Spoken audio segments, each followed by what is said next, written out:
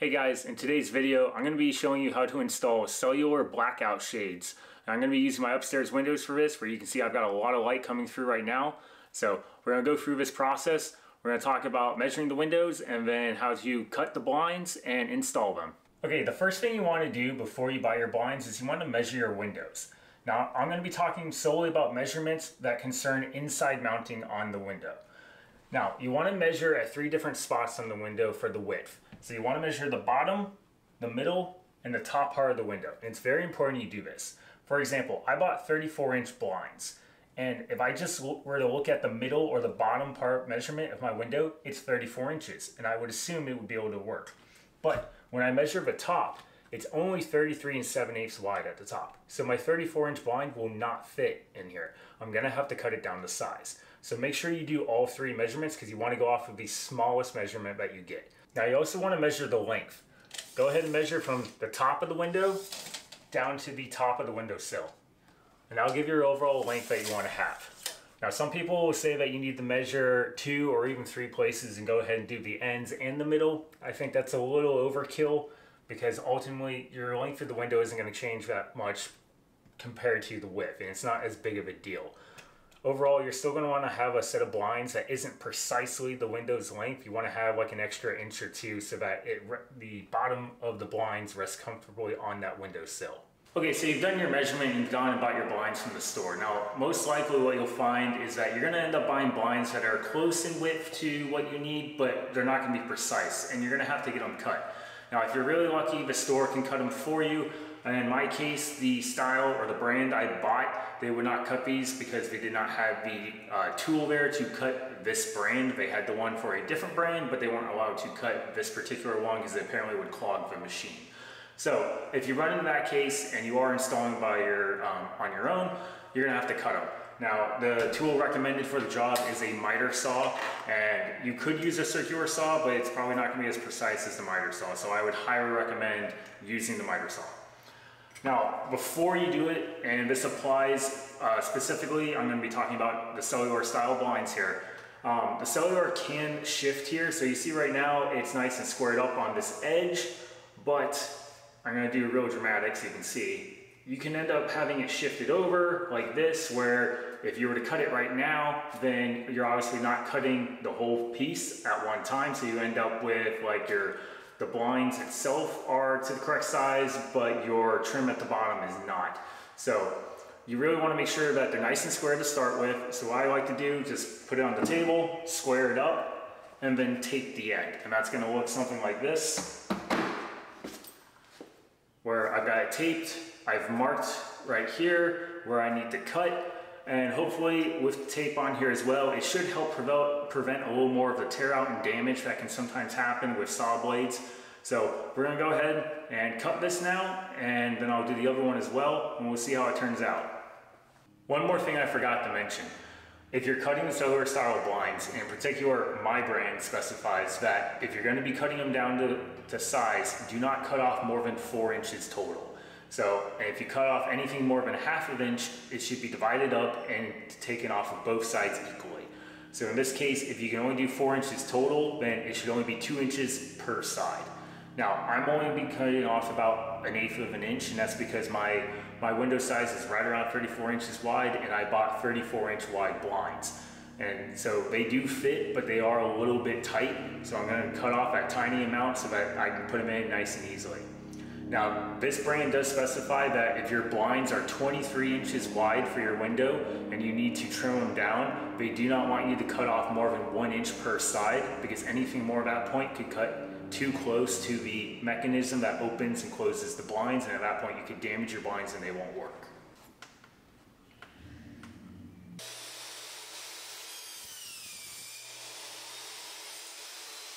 So the good news is, is after cutting it the blinds fit perfectly within the window. The bad news is they won't fit perfectly once I put these in. So these little plastic pieces are the little end caps that go right here. Whoops, wrong way. There we go. And they cover up your ends so that if you do have to cut your blinds, you don't have to see any of the damaged plastic right here that might be a little bit rough. The problem is, is I only cut 1 8 of an inch off because that's all I needed. However, each of these pieces is a 16th of an inch. So combined, both sides are an eighth of an inch. So I'm back where I started. So I need to go back downstairs and cut off another eighth of an inch. Okay, now that I've gone back and recut my blinds, now that they actually fit, I'm going to go ahead and install my mounting brackets. So these are really easy. You're going to have two screws per, and since we're doing uh, mounted to the inside of the window, we're going to have the screws go through the top of them. So we're just going to go ahead and put them up here. I'm going to use the original mounting holes for the old blinds as my reference point, and I'm just going to cover them up because they're roughly equal distance inward, just a couple of inches. And then I'm going to mark my hole.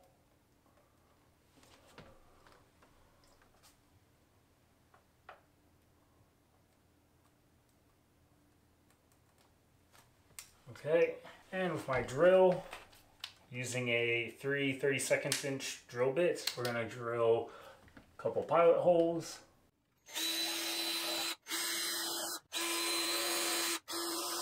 Okay, with my holes drilled, I'm gonna go ahead and screw in my brackets.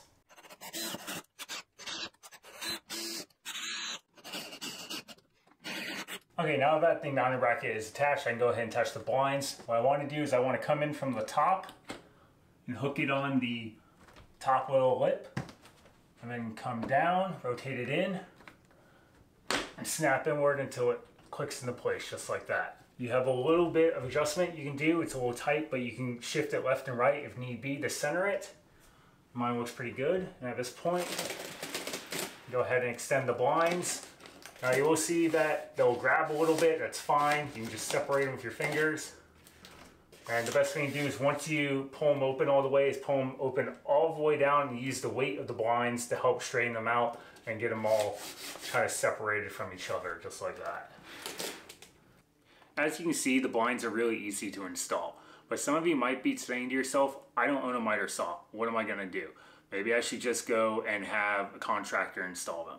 Well, let's go over some simple math that's involved with buying the blinds and having the contractor do it.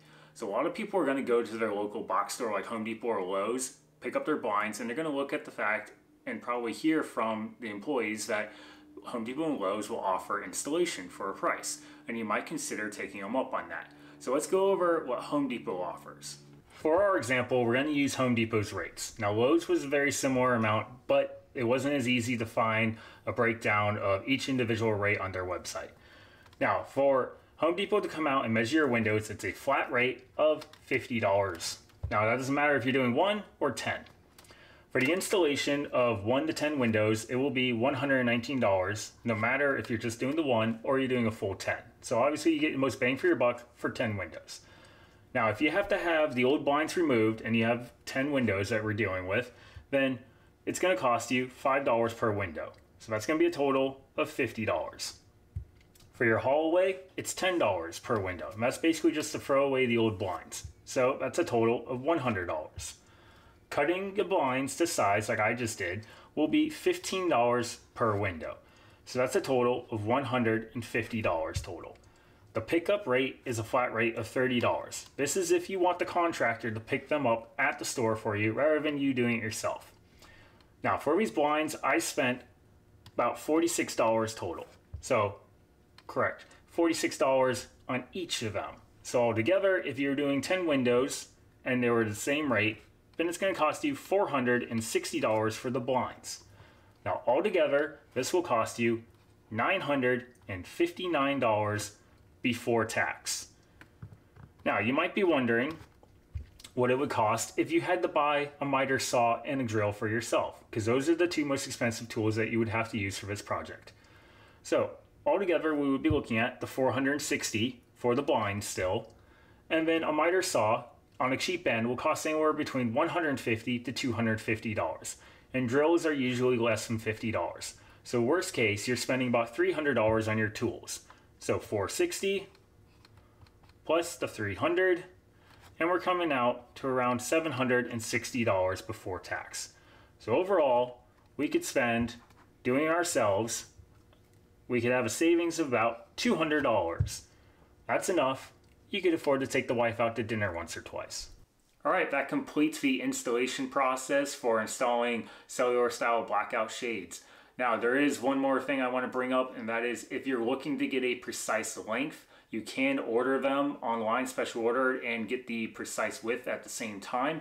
It will, however, cost almost twice the amount as to what you're going to find in the store.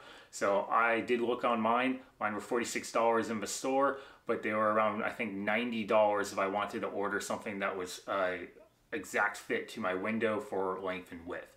So I would still highly recommend that you go ahead and just cut them yourself or you could go with the installation from the store, but it's going to be a lot more money if you decide to buy it um, for a precise fit to your window. So I hope you guys learned something in this video, and if you did, then go ahead and give me a thumbs up and uh, click the subscribe button, and we'll see you next time on the DIY Grunt.